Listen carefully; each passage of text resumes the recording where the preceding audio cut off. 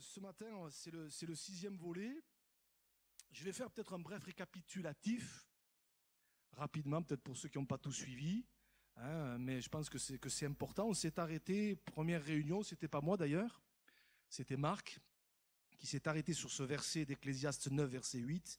Quand tout temps tes vêtements soient blancs et que l'huile ne manque point sur ta tête. Quand l'huile manque, ça va pas. Quand l'huile manque, dans nos vies, dans l'église, il manque une dimension. Vous voyez, c'est, un peu raide, quoi. Il manque quelque chose. Mais quand, il y a l'huile, alors ça prend une toute autre tournure. Après, on s'est arrêté sur Salomon. Vous vous rappelez? Salomon qui, euh, à qui Dieu était apparu deux fois. C'est dit explicitement. Dieu était apparu deux fois, deux expériences extraordinaires, sauf que on se rend compte de la manière dont il termine qu'il n'a pas été renouvelé. On a dit qu'on ne peut pas vivre sur les expériences du passé, on a besoin d'être continuellement et continuellement renouvelé par Dieu. Euh, l'huile du passé, c'est bien, mais elle finit par rancir. On a besoin d'une huile fraîche. Ensuite, on s'est arrêté euh, euh, dans le Lévitique au chapitre 2, entre autres, sur les offrandes qui étaient apportées à Dieu, qui devaient être de fleurs de farine pétries à l'huile. Et on en a retiré cet enseignement que quelque part notre vie c'est une offrande à Dieu et cette offrande il faut qu'elle soit pétrie à l'huile. Il faut que, que, l'huile du Saint-Esprit pénètre dans tous les domaines de notre vie, dans tous les domaines. Il n'y a pas une pièce de notre vie où le Saint-Esprit euh, doit trouver porte close, mais il faut qu'il rentre partout. Et c'est ça le, le pétrissage à l'huile, voyez. Ensuite on s'est arrêté dimanche dernier euh, sur le fait que être rempli du Saint-Esprit, renouvelé dans le Saint-Esprit, c'est pas une option, c'est une nécessité. Alléluia. C'est une nécessité. Et puis mardi soir, on s'est arrêté sur quelques conseils pour être rempli du Saint-Esprit, baptisé du Saint-Esprit, renouvelé dans le Saint-Esprit. Alléluia. D'ailleurs, euh, moi je suis content parce que euh, on a dit qu'un des premiers conseils qu'on a vu, c'est d'avoir soif. Et euh, ben, cette semaine, euh, il y a une sœur qui a été baptisée du Saint-Esprit. Alléluia. Et moi, ça me réjouit. Gloire à Dieu. Hein, euh, notre sœur Christine. Gloire à Dieu. Ouais, elle est souriante. Ouais, c'est super. C'est super ça. Voilà. Moi, je me réjouis quand quelqu'un est baptisé du Saint-Esprit, rempli du Saint-Esprit. Mais, mais, mais, mais on a besoin de vivre cette dimension. Quelqu'un l'a dit dans sa prière tout à l'heure. Je crois que c'est le frère à la Sainte-Seine. On a besoin de vivre cette dimension du Saint-Esprit, d'être rempli, baptisé du Saint-Esprit, rempli du Saint-Esprit. Euh, Et ce matin, je voudrais m'arrêter sur une dernière chose. Je l'ai dit, on ne peut pas, finir, mais euh, je voudrais m'arrêter avec vous sur euh, les fonctions, quelques fonctions, quelques rôles du Saint-Esprit dans nos vies. Je crois que c'est important de réaliser que le Saint-Esprit veut accomplir euh, un un rôle dans notre vie. Il a des fonctions. Il nous a été donné pour accomplir certaines fonctions. Et je pense, je crois que c'est important d'en prendre conscience. Alors déjà, peut-être rappeler à toutes fins utiles que le Saint-Esprit, c'est pas un fluide, c'est pas pas une puissance, c'est pas de l'eau. Le Saint-Esprit, c'est une personne. Euh, Peut-être pour 95% c'est acquis, peut-être, mais peut-être pour 5% c'est pas le cas. Mais j'aimerais rappeler ce matin que le Saint-Esprit, c'est une personne. Alléluia. Alors quelques, quelques, quelques fonctions, quelques rôles que le Saint-Esprit va accomplir dans nos vies ce matin. Et celui qui en parle d'une manière tellement belle, tellement, tellement extraordinaire, c'est Jésus. Et on va lire quelques textes ce matin. Lisez avec moi dans Jean chapitre 14. Jean chapitre 14, verset 15. Jean chapitre 14, verset 15. Des choses que nous savons, mais je pense que c'est important d'y revenir. Jean chapitre 14, verset 15. Jésus dit ceci. Si vous m'aimez, gardez mes commandements. Rien que là, on pourrait s'arrêter. Je ne peux pas dire que j'aime le Seigneur si je fais aucun cas de ses commandements. Ça va ensemble. hein. Et moi, je prierai le Père il vous donnera un autre consolateur, afin qu'il demeure éternellement avec vous, l'esprit de vérité que le monde ne peut recevoir parce qu'il ne le voit point et ne le connaît point, mais vous, vous le connaissez, car il demeure avec vous et il sera en vous. Retenez ça, on va au chapitre 16, toujours de de l'évangile de Jean, Jean chapitre 16, versets 12 et 13. Il est dit ceci, c'est Jésus toujours qui parle et qui dit, j'ai encore beaucoup de choses à vous dire, mais vous ne pouvez pas les porter maintenant. Peut-être juste ouvrir une parenthèse, des fois on demande des choses au Seigneur et il ne nous répond pas tout de suite. Peut-être il ne te répond pas tout de suite parce que tu ne peux pas le porter encore. Je ne sais pas si ça parle à quelqu'un, mais euh, en tout cas, il y a des choses que le Seigneur nous dit au moment où on en a besoin. Et puis Jésus continue en disant verset 13, Quand le consolateur sera venu, l'Esprit de vérité, il vous conduira dans toute la vérité, car il ne parlera pas de lui-même, mais il dira tout ce qu'il aura entendu, et il vous annoncera les choses à venir. Amen. La première chose qui est importante ici, j'ai voulu commencer par là, parce que c'est la base, c'est le fondement. Euh, le, premier, le premier rôle du Saint-Esprit, la, première fonction du Saint-Esprit dans nos vies, en tout cas celle qu'il veut accomplir, vous avez remarqué que Jésus appelle le Saint-Esprit l'Esprit de vérité. Dans les deux textes, ça, revient. L'esprit de vérité. Et Jésus dit même, euh, j'allais dire, appuie encore plus en disant, il vous conduira dans toute la vérité. Et un des premiers, un des premiers, le premier rôle, un des premiers rôles du Saint-Esprit quand il vient dans notre vie, quand il nous remplit, c'est de nous conduire dans toute la vérité. Et nous le savons, Jésus le dira un petit peu plus loin, ta parole est la vérité. C'est-à-dire que le Saint-Esprit ne nous conduira jamais dans d'autres directions que celle de la parole. Et ça, il faut que, il faut que ce soit clair, il faut que ce soit dit, il faut que ce soit prêché. Jamais le Saint-Esprit ne nous conduira dans d'autres sentiers que les sentiers de la parole de Dieu. Et je crois que c'est important de le dire, surtout aujourd'hui, où beaucoup de choses sont dites sous le couvert du Saint-Esprit, beaucoup de choses sont faites sous le couvert du Saint-Esprit, je ne vais pas rentrer dans les détails, hein. on a besoin d'être clair là-dessus, le Saint-Esprit ne contredira jamais ce qui est écrit dans la parole de Dieu. Et j'allais dire, c'est logique, puisque c'est lui qui l'a inspiré. Donc il ne va pas inspirer des hommes, hein, euh, de, choses qu'il a, lui-même voulu qui paraissent et qui nous soient retranscrits pour nous, pour dire le contraire après. Et je crois que c'est, important d'appuyer. il vous conduira dans toute la vérité, pas dans un morceau de la vérité, pas dans une partie de la vérité. Il nous conduira pas dans nos idées, dans nos façons de voir à nous les choses, mais il nous conduira dans toute la vérité. Et ça m'a rappelé ça m'a rappelé des, paroles de l'apôtre Paul, on va les afficher dans les Galates. Vous vous rappelez que les Galates étaient un petit, un petit peu en train de, s'égarer, euh, ils étaient en train un peu de revenir à la loi, et puis l'apôtre Paul va leur dire ceci, mais quand nous-mêmes, quand un ange du ciel annoncerait un autre évangile que celui que nous vous avons prêché, qu'il soit anathème. Et il continue en disant, nous l'avons dit précédemment, et je le répète à cette heure, donc c'était des choses que Paul disait ça. Si quelqu'un vous annonce un autre évangile que celui que vous avez reçu, qu'il soit anathème. Et c'est très important ce que dit Paul ici. Il est en train de dire attention, soyez sur vos gardes. Hein? vous avez remarqué que là, il parle de, bon, il y a un contexte, il parle d'un autre évangile. Le problème de cette parole, un autre évangile, c'est qu'il y a le mot évangile dedans. C'est qu'il y a le mot évangile dedans, voyez? Donc ça, euh, on peut facilement se faire avoir. Et je crois que c'est important de réaliser, surtout aujourd'hui où il, y a, tellement de choses, on entend tellement de choses, on voit tellement de choses, que quelque part de réaliser que le Saint-Esprit ne nous conduira jamais dans d'autres sentiers que ce qui est écrit dans la parole de Dieu. Et même si, vous avez remarqué ce que Paul dit ici, même si un ange, même si un ange, vous vous rendez compte? Je ne sais pas si vous avez vu un ange, vous, moi non. Hein? Voilà. Euh, bon, je ne suis pas en train de dire que vous n'êtes pas des anges, mais enfin. Euh, euh, mais, voyez, mais même si un ange vient et, vous annonce autre chose que ce qui est écrit dans la parole, et Paul dit, et même nous-mêmes, nous-mêmes, rendez compte? Si même l'apôtre Paul venait et nous disait le contraire de ce qu'il avait annoncé, qu'il soit anathème. Pourquoi? Parce que le Saint-Esprit ne nous conduira jamais dans d'autres sentiers que celui de la parole. Et je crois que ça, c'est important qu'on que, qu'on le réalise. C'est important qu'on en prenne conscience. Ce qui est important, c'est ce qui est écrit dans la parole. Le Saint-Esprit nous conduira uniquement et seulement dans ce qui est écrit. Et à ce sujet-là, il y a une histoire qui est, très intéressante. Alors, j'ai pas trop le temps de, la lire ce matin, mais peut-être juste euh, euh, m'y arrêter quelques instants. Vous lirez à la maison, dans 1 roi chapitre 13, il y a une histoire d'un prophète. On ne connaît pas son nom.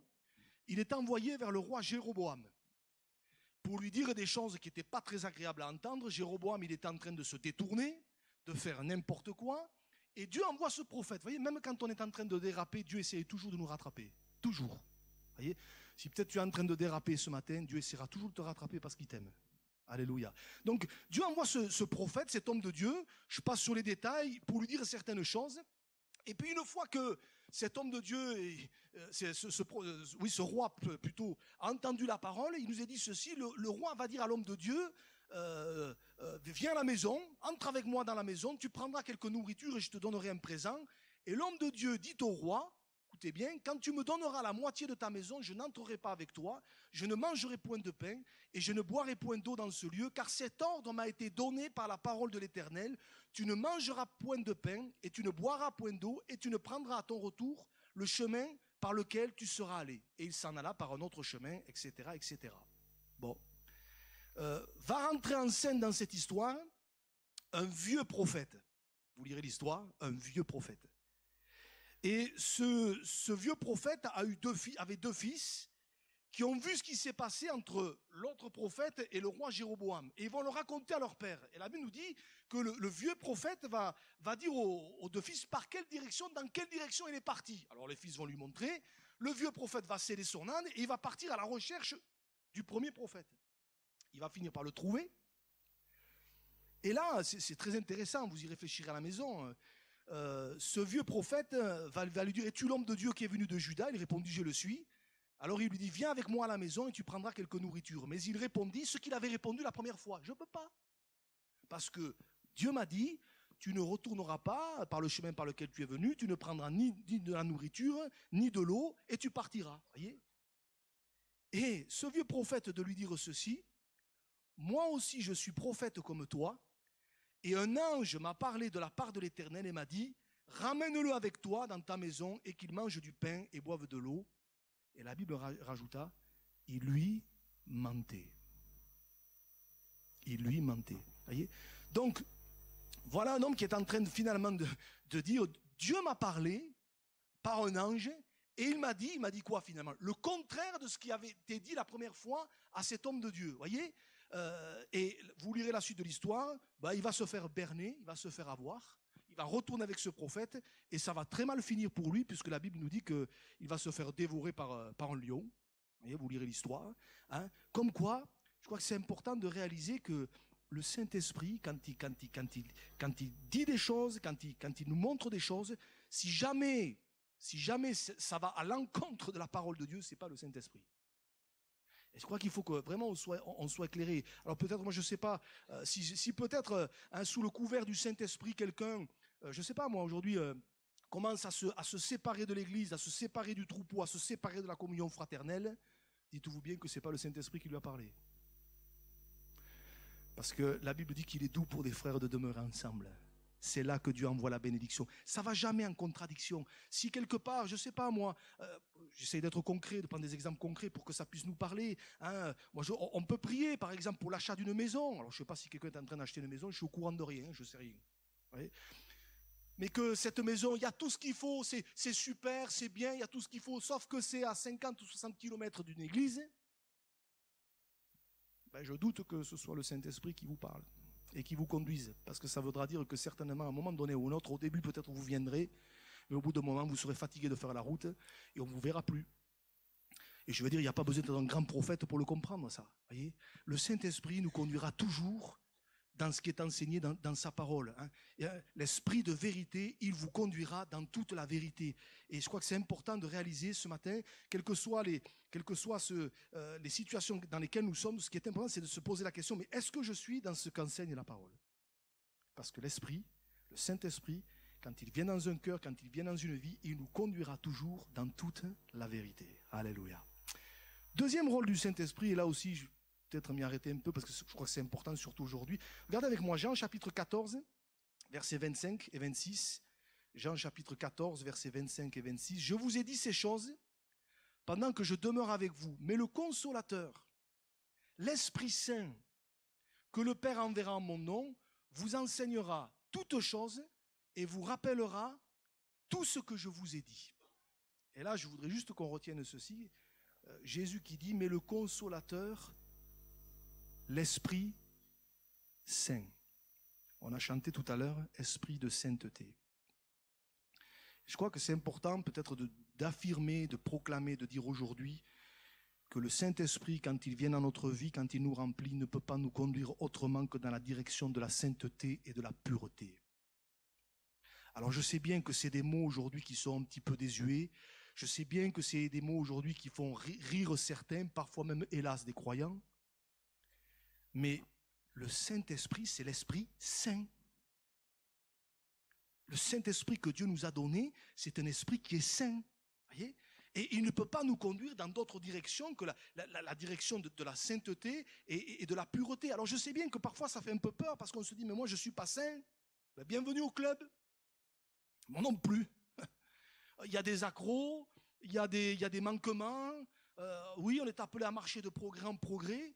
Mais je crois que si le Saint-Esprit nous remplit, alors il doit y avoir en nous ce désir de sainteté ce désir de se séparer de tout ce qui est souillé, de tout ce qui est sale, de tout ce que Dieu désapprouve, ce désir de mettre une séparation entre nous et le péché. C'est ça que, c'est, voilà encore un rôle que, le Saint-Esprit va, va, remplir dans, notre vie. Et je crois que c'est important de le réaliser, surtout aujourd'hui où tout est banalisé, tout est minimisé, où quelque part on dit, bah, aujourd'hui, tout le monde le fait, c'est comme ça. Mais c'est, mais c'est important, c'est important de réaliser que l'Esprit que Dieu nous a donné, c'est l'Esprit saint. Saint. Et l'Esprit Saint ne peut pas, ne veut pas cohabiter avec des choses qui sont tout le contraire de la sainteté. Et Jean le dira, hein, comme celui qui vous, l'apôtre Pierre plutôt, comme celui qui vous a appelé saint, soyez saint. Et celui qui nous rend saint, c'est le Saint-Esprit. Alléluia. Il nous conduit dans cette direction de la, sainteté. Je pense à, je deux exemples dans la parole, euh, je pense à l'histoire de Joseph avec Madame Potiphar. Euh, quand on lit cette histoire, bon, euh, j'allais dire, malheureusement, c'est une histoire qui s'est déroulée il y a très longtemps, mais c'est une histoire qui, pourrait se passer aujourd'hui euh, sans problème. Hein. Voyez, couche avec moi. Euh. mais, mais, mais, mais on sent dans, dans, l'attitude de Joseph un homme en qui l'Esprit de Dieu agit. Parce que rappelez-vous ce qu'il va dire à Madame Potiphar, mais, mais comment pécherais-je contre Dieu et ferais-je un aussi grand mal? Il est conscient que s'il couche avec cette femme, alors qu'il aurait pu se retrancher derrière tout un tas de faux raisonnements, ne c'est pas moi, j'y suis pour rien, je ne l'ai pas cherché, qui le saura, personne ne le verra, voilà, ça passera ni vu ni connu, et peut-être pour moi la situation va s'arranger. Mais on sent dans, dans, la réponse de cet homme que l'Esprit de Dieu agit en lui. Parce qu'il dit non, c'est pas possible. Il refusa de coucher avec elle, d'être avec elle, même d'être avec elle, il a refusé. Vous voyez, l'Esprit de Dieu ne peut pas nous conduire autre part dans une autre direction que, la sainteté de vie. Que, que, une vie de pureté. Alors je suis pas en train de dire que quelque part il y a parfois il y a pas parfois des accros, qu'on peut on, on, peut tomber. Jacques le dit, nous bronchons tous de plusieurs manières. On est ok. Mais il doit y avoir en nous ce désir de dire Seigneur, je veux me séparer de ce qui est mal, de, ce, que tu, de ce que tu désapprouves, de ce, qui est souillé, de ce qui est sale. Je ne veux, pas, je veux pas commencer à cohabiter avec des choses dont je sais très bien que ce n'est pas ce que Dieu veut. Parce que si tel est le cas, pas le Saint-Esprit qui vient en toi. Ou alors il est en train de partir.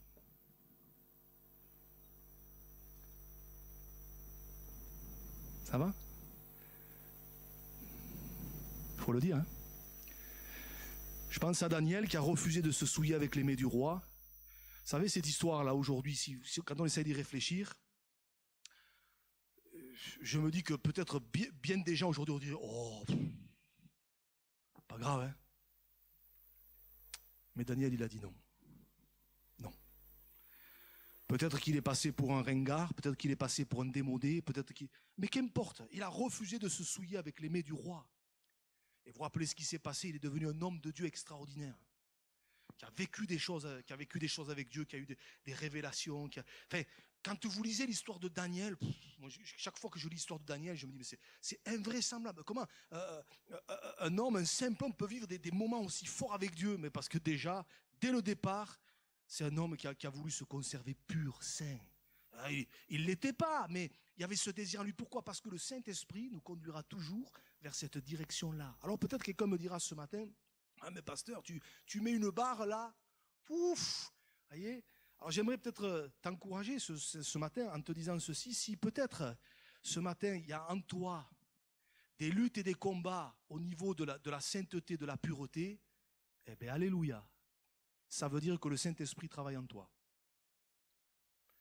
Ça veut dire que tu es normal si tu as des combats, si tu as des luttes, si tu sens qu'il y a des moments où ça, ça, c'est pas simple, ben ça prouve que quelque part, justement, le Saint-Esprit est en train d'agir en toi. Et quelque part, comme dira l'apôtre Paul, la chair a des désirs contraires à l'esprit et l'esprit a des désirs contraires à la chair. Donc il y a opposition, il y a combat. Ça frotte. Ça frotte. Voyez? Et je crois que c'est quelque part, c'est obligé qu'il y ait un combat. C'est obligé qu'il y ait un combat. Et si peut-être tu, vis ce combat en toi, ben j'aimerais te dire, c'est bien. C'est bien. Ça prouve que le Saint-Esprit agit. Ça prouve que le Saint-Esprit agit. Il y, a, une petite salle derrière avec la télé, vous voyez le culte, vous l'entendez et tout. Ça a été fait exprès. Juste derrière, là. Voilà. On a fait ça exprès. Voilà. Donc ce matin, si, tu, vis ce, ce combat en toi, ben, gloire à Dieu. Gloire à Dieu. Ça prouve que le Saint-Esprit agit. Ça prouve que euh, le Saint-Esprit fait son œuvre en toi. Et, je voudrais t'encourager à, continuer, je voudrais t'encourager à, persévérer. Et je crois même, et je crois même, que parfois, ça va, ça va même plus loin. C'est-à-dire que le Saint-Esprit nous place, comme Joseph un petit peu, dans des situations, on se dit, mais Seigneur, mais, mais pourquoi? Ben Parce que justement, le Seigneur veut qu'on remporte des victoires. Et il va nous placer dans des situations où il va falloir qu'on se positionne, où il va falloir qu'à un moment donné on dise non, où il va falloir qu'à un moment donné on dise stop. Et c'est comme ça qu'on remporte des victoires, et c'est comme ça qu'on va de l'avant. Et si peut-être tu te retrouves, tu dis, c'est pas possible, ça, ça fait deux fois, trois fois, je me retrouve confronté au, même problème, à la, même situation, ben peut-être c'est le Saint-Esprit qui veut t'amener à remporter une victoire, dans un domaine ou dans un autre. Quand quelque chose revient plusieurs fois, c'est pas anodin.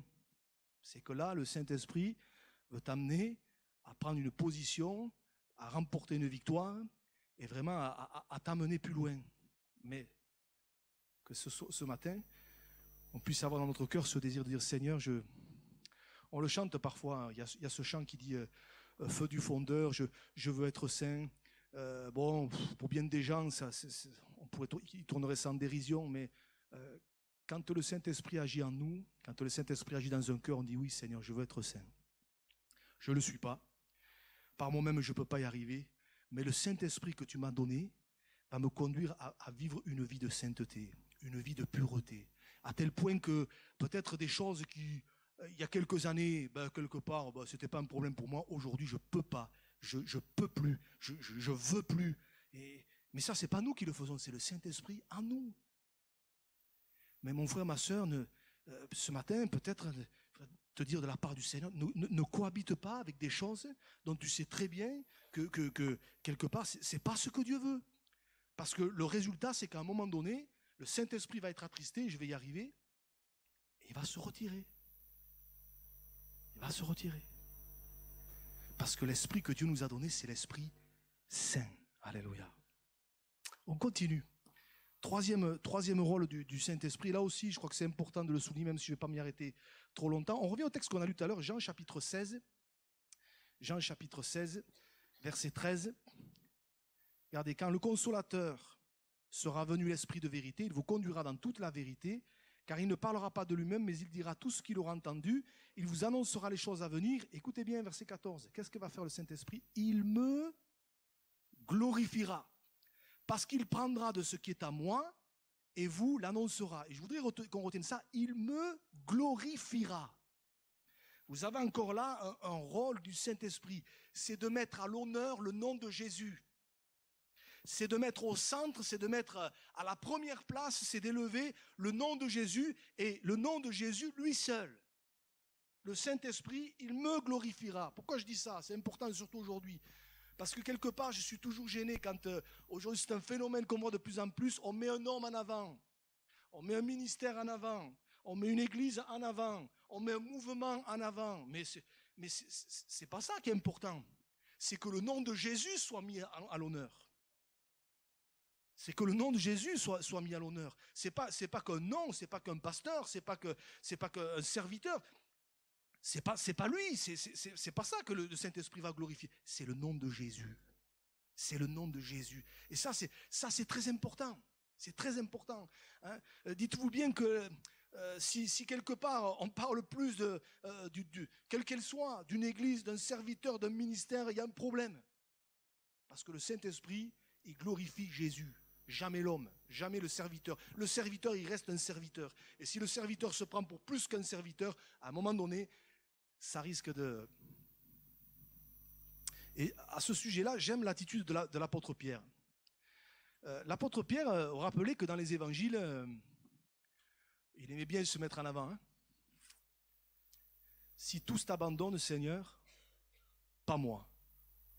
Alors chaque fois que je lis ce, passage, que je lis ce verset, moi je, dis toujours, Seigneur, j'aurais aimé être une mouche juste pour voir 10 secondes la tête des autres. Si tous t'abandonnent là, moi, Seigneur, je ne risque pas de t'abandonner. Vous imaginez la tête des autres? Vous euh, donc, euh, Et on sait ce qui est arrivé à Pierre après. Hein. et puis vous retrouvez le Pierre dans le livre des Actes des Apôtres. Et la différence entre le Pierre des évangiles et le Pierre des actes des apôtres, c'est quoi? C'est la Pentecôte. C'est la Pentecôte. Ça fait toute la différence. Quand le Saint-Esprit descend sur un homme, quand le Saint-Esprit descend sur une femme, ça fait toute la différence. Et combien on est surpris, surtout quand on connaît le, Pierre des évangiles, quand on le voit suite à la guérison du boiteux du temple, acte 3. Vous connaissez l'histoire. Hein je n'ai ni or ni argent, mais ce que j'ai, je te le donne. Au nom de Jésus-Christ, lève-toi et marche. Le gars, il rentre là dans le temple, il saute, il loue Dieu. Pouh, la réunion, elle a pu être la même ce jour-là. Et je le comprends, il a été guéri, il a été délivré. Il était boiteux de naissance. Et puis la Bible nous dit que les gens vont accourir, évidemment. Et là, il va, se passer un petit quelque chose qui est assez intéressant. On pouvait passer dessus, mais regardez, acte 3, verset 12, il est dit ceci. Pierre, voyant cela, c'est-à-dire voyant que ben, les gens étaient tous là en train de regarder ce qui se passait, voyez le, le, boiteux guéri, et puis commençait à s'amasser autour de lui, il dit, Pierre, voyant cela, dit au peuple, homme israélite, pourquoi vous étonnez-vous de cela? Et regardez, il a senti le truc venir, Pierre.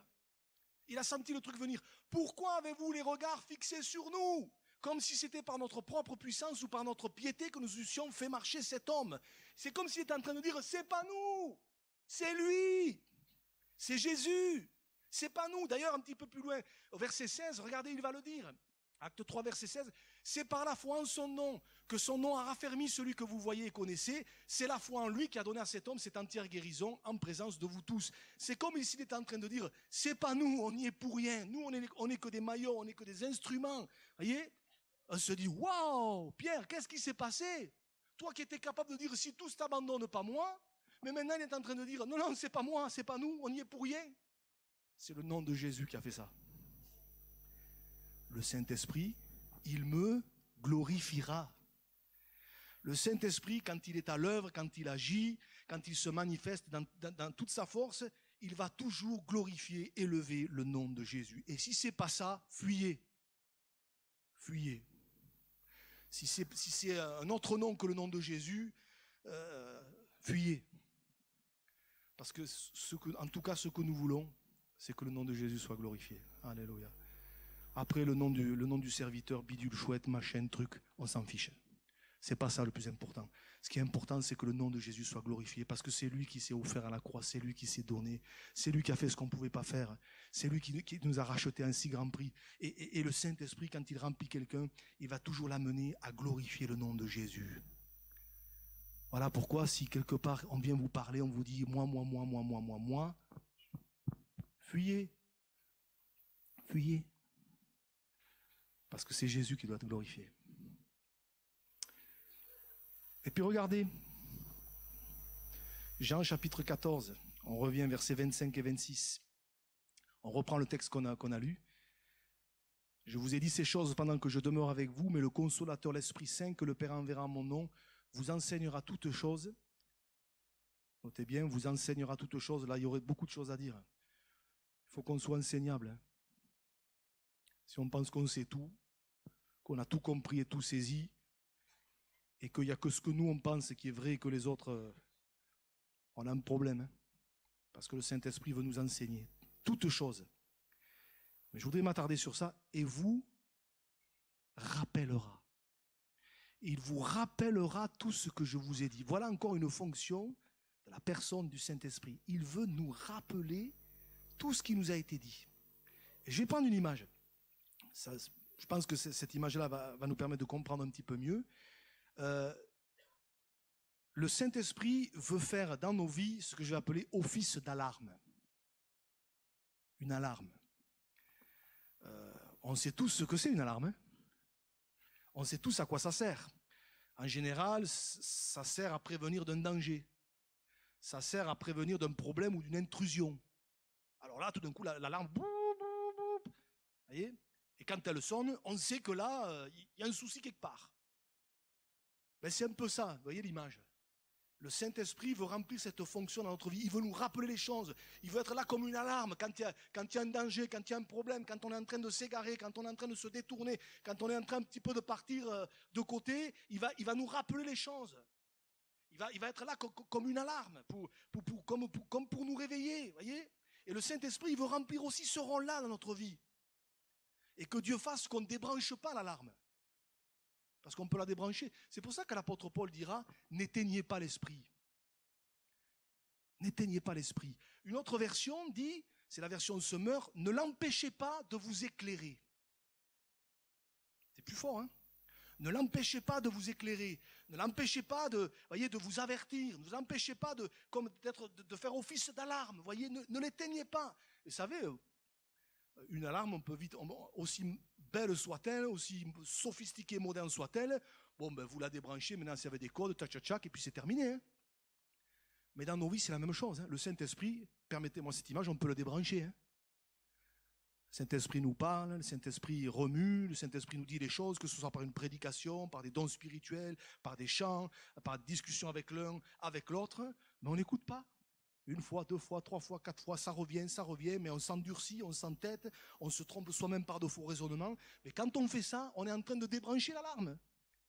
On est en train de débrancher l'alarme. Et un jour, un jour, ça viendra pas du jour au lendemain, mais un jour, c'est trop tard. Et moi, j'ai envie de dire, Seigneur, dans, dans ma vie, je veux te laisser remplir ce rôle-là. Comprenez pourquoi on a besoin du Saint-Esprit. Comprenez pourquoi on a besoin d'être rempli du Saint-Esprit, surtout dans, le monde dans lequel on est aujourd'hui, quand on voit toutes les pressions que, l'enfant de Dieu subit. Ceux qui veulent vivre pieusement Jésus-Christ seront persécutés, ils, vont subir de la pression. Quand on voit toutes les tentations, tout le péché qui nous enveloppe si facilement, dira l'auteur de l'Épître aux Hébreux. Mais c'est pour ça qu'on a besoin d'être rempli du Saint-Esprit, parce qu'il va faire office d'alarme. Vous savez pourquoi? En tout cas, je vais parler pour moi. Parce qu'on est naïf moi, je, le, je vais parler de moi là. Moi, je suis un benet. Vous voyez euh, euh, Surtout les hommes en général. Les dames ont un peu plus donné. Les dames ont un peu plus donné. Je le confesse, mesdames, vous avez un peu plus donné que, que, les messieurs. Bon, je vais avoir des problèmes avec les messieurs à la sortie, mais c'est pas grave.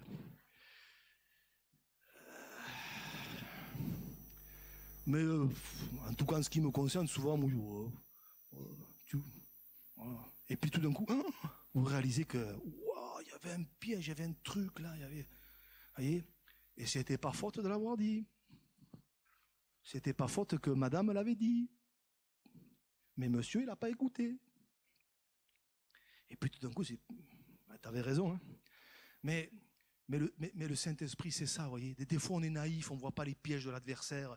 Des fois, sous le couvert de l'amour, Bien sûr qu'il faut être plein d'amour, bien sûr qu'il faut être plein de compassion. On est d'accord avec ça. Mais la compassion, l'amour, ne doit pas enlever notre esprit de jugement sur les choses. Dire là, ça va pas. Mon frère, ma soeur, je t'aime, je, suis prêt à t'aider, mais là, ça, je, je cautionne pas. Ça, ça, non. Voyez, euh, sous le couvert de l'amour, on peut pas tout avaler, tout accepter. Voyez Et le Saint Esprit, il est là comme, il est là comme, voilà, il, nous rappelle les choses, il les remet là. Hein, hein il appuie comme une alarme. Je ne sais pas, peut-être ce matin, dans un domaine, dans un autre, l'alarme est en train de sonner, ça fait un moment qu'elle sonne. Et peut-être le son, il devient, aigu. C'est souvent, vous avez remarqué les, les alarmes. Et puis à la fin, plus ça sonne, plus ça... Ma prière, c'est que personne ne fasse ça. Et si peut-être, je sais pas, si peut-être ce matin, euh, peut-être euh, te tarde que ça finisse parce que ça te dérange, gloire à Dieu. Parce que ce n'est pas moi qui te dérange. C'est le Saint-Esprit.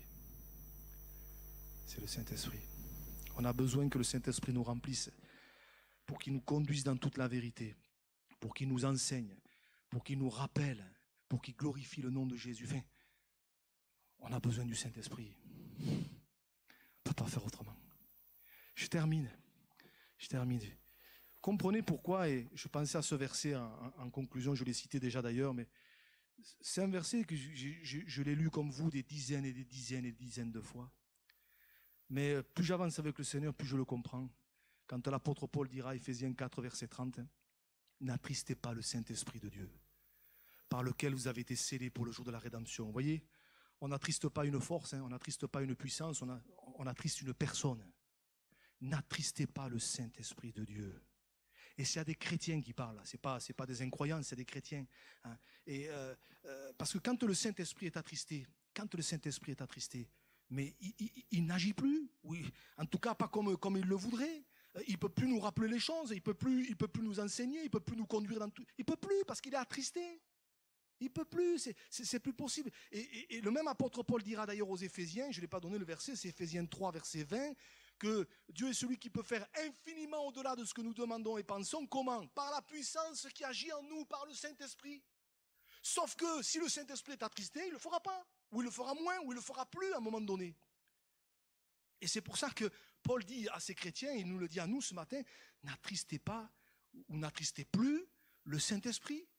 Voyez? Et, c'est pour ça que c'est hyper important, parce que s'il n'y a plus, s'il a plus le Saint-Esprit, si, lui, le manque sur notre tête, mais qu'est-ce qui reste?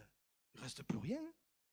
Oh, j'allais dire, les choses continueront, mais ça, il va manquer une dimension, ça sera sec, ça sera fade. Mais là où il y a le Saint-Esprit, il y a des conversions. Là où il y a le Saint-Esprit, il y a des guérisons. Là où il y a le Saint-Esprit, il y a l'action de Dieu, il y a des délivrances, il y a des choses qui s'opèrent. Et c'est pas les hommes qui le font. On peut pas le fabriquer. L'onction, ça se fabrique pas. C'est le Saint-Esprit qui la manifeste quand on lui permet de couler. N'attristez pas le Saint-Esprit. Et, moi, ce matin, j'ai envie de dire, Seigneur, aide-nous à pas t'attrister ou à ne plus t'attrister. Et, je voudrais tellement qu'on puisse en arriver euh, avec ce, voilà, dire, Seigneur, je, en tout cas, moi, moi c'est une prière que je fais quasiment tous les jours. Seigneur, aide-moi encore aujourd'hui à pas attrister ton esprit. Parce que des fois, on s'en rend même pas compte. Et Ça vous arrive, vous, ça? Des fois, vous êtes là, vous êtes, vous êtes en train de prier. Vous allez me dire si je suis normal. Hein. Et tout d'un coup, tout d'un coup, il y a, une scène, euh, quelque chose, un épisode euh, que vous avez vécu quelques, jours avant, ou deux, trois, ça vous revient, vous. Et là, vous sentez comme une, comme une, une bonne pression du Saint-Esprit qui, tu vois là, ton attitude. Tu vois là. En fait, euh, vous n'étiez même pas rendu compte que quelque part, là, vous, elle va attrister le Saint-Esprit. Mais c'est bon quand, c'est comme ça. Parce que là, vous dites, Seigneur, je te demande pardon. Je, je m'étais même pas... Et là, quand, c'est le Seigneur qui vous en fait prendre conscience, c'est bon. Waouh. Waouh. Que ce matin, on soit des hommes et des femmes qui veulent dire, Saint-Esprit, remplis-moi. Je veux pas t'attrister, je veux plus t'attrister. Je termine en disant, en disant ceci. Et je demande aux musiciens de s'approcher. Une vie où, l'Esprit de Dieu est attristé, c'est une vie en danger. Une église où l'Esprit de Dieu est attristé, c'est une église en danger. Alors, euh, une église où le Saint-Esprit est attristé, oh, ça continuera. Hein. Les réunions se continueront, le programme se continuera. Pas de problème. Mais il manquera l'essentiel. Si on n'a pas le Saint-Esprit ou si on n'a plus le Saint-Esprit, il nous manque le plus important. Et le but de tous ces messages, c'est vraiment nous amener à dire, Seigneur, j'ai soif du Saint-Esprit. J'ai soif, Seigneur, de cette... Hein, si Jésus a dit, a dit aux disciples qui pourtant en avaient vu, en avaient entendu, hein, ne, ne, vous éloignez pas de Jérusalem, attendez ce que le Père a promis, vous recevrez une puissance, le Saint-Esprit survenant sur vous, le dynamisme, la dynamite de Dieu, et vous serez mes témoins. Si eux en avaient besoin, nous on en a besoin. Et ma prière, c'est que les uns et les autres, on puisse se dire, Saint-Esprit, viens. Je ne veux pas t'attrister. Si je, si je l'ai fait, je te demande pardon. Mais je veux être plein d'huile, plein d'Esprit Saint. Et je voudrais, je vais m'arrêter là. Je voudrais qu'on va prendre ce, chant terminant. Je ne vais pas faire d'appel.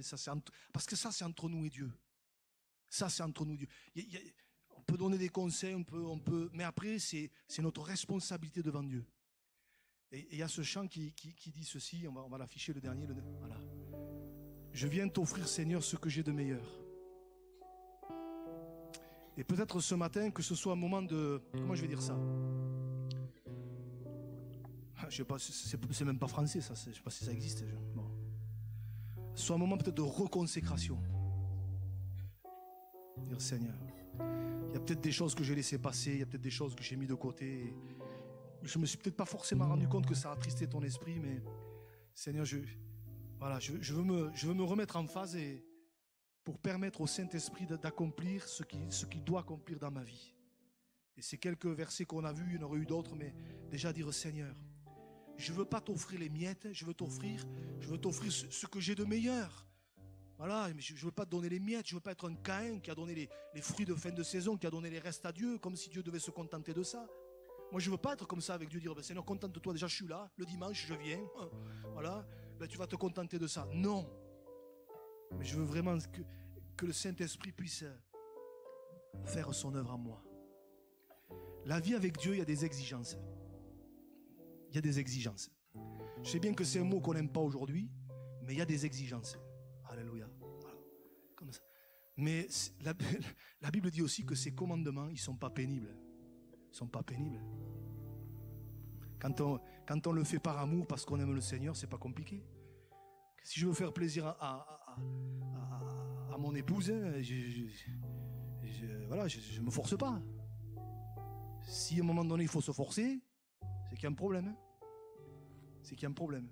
Si pour le Seigneur il y a des choses, il faut qu'on se force, allez, je vais le faire parce qu'il le dit. hein. Pas pour moi. C'est que peut-être il y a un souci. Et ce matin, le but, c'est pas de nous accabler, c'est que on puisse se dire Seigneur, je veux cette huile du Saint-Esprit. Je veux être rempli du Saint-Esprit, renouvelé dans le Saint-Esprit. Cette huile fraîche, cette huile de joie, cette huile de joie. Alléluia, cette huile de, renouvellement. Et combien c'est bon. Et regardez les premiers chrétiens dans le livre des Actes. hein, euh, ils étaient renouvelés dans le Saint-Esprit et pourtant on les bastonnait, on leur mettait des coups. Ils en prenaient plein la tête, mais ils étaient dans la joie. Ils avaient une force extraordinaire. Mais ça, c'est surnaturel et c'est divin. Alors Seigneur, viens ce matin. Après, c'est un examen devant Dieu, chacun personnellement. Mais que ce matin, on puisse lui dire, je viens t'offrir, Seigneur, ce que j'ai de meilleur. Et même si je suis fragile, je le suis, même si c'est difficile, c'est peut-être le cas, Seigneur, je veux te rendre gloire. Alléluia. Seigneur, ce matin, je veux vraiment me tenir devant toi dans toute ma faiblesse, Seigneur. Je te demande de nous aider les uns les autres, Seigneur, à être remplis du Saint-Esprit. Je veux, nous voulons être des hommes et des femmes remplis du Saint-Esprit. Seigneur, cette huile sainte, cette huile fraîche, cette huile de joie, on va en être continuellement renouvelé. Et si peut-être ce matin il y a des choses à rectifier devant toi, mais gloire à Dieu, Seigneur, gloire à toi, Seigneur, pour ça. On veut le faire de tout notre cœur, afin de t'honorer, de ne pas t'attrister. Sans forcer personne, si vous voulez rester assis, restez assis, il n'y a pas de souci. Sinon, on peut se lever et prendre ce chant comme une, comme une prière en finissant, faire cette prière devant Dieu. C'est une prière qu'on fait. Si, si, si c'est pas vraiment ce qu'on ce qu'on ce qu'on ressent, il faut pas le chanter le chant. Faut pas le chanter. Il vaut mieux pas le chanter. Mais si c'est vraiment notre, notre désir, alors de tout notre cœur, disons-lui. Alléluia. Je viens t'offrir, Seigneur, ce que j'ai de meilleur. Je viens t'offrir ma vie. Oui, à toi, Jésus-Christ. Même si je suis fragile, même si c'est difficile, je chanterai gloire à l'éternel. Je chanterai louange à son nom. Je chanterai Dieu, mon essentiel. Je chanterai en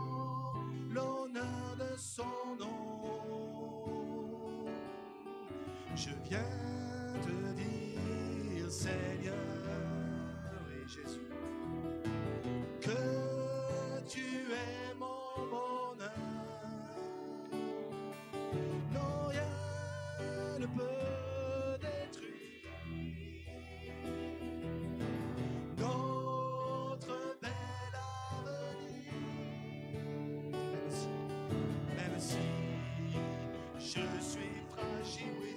plaire, Seigneur.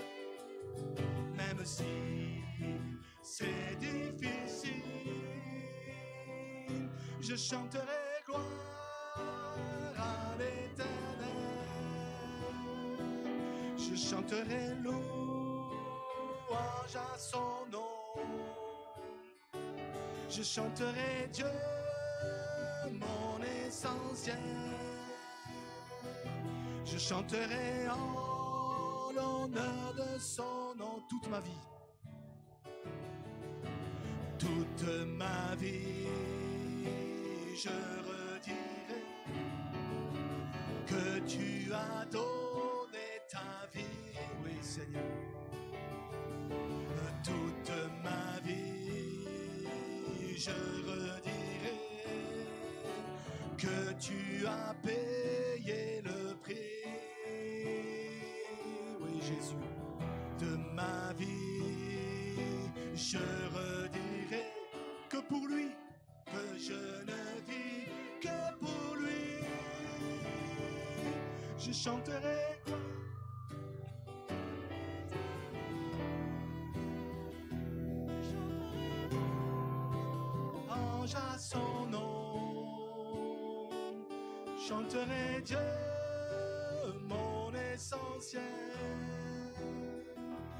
chanterai en l'honneur de son. Dernière fois, je chanterai.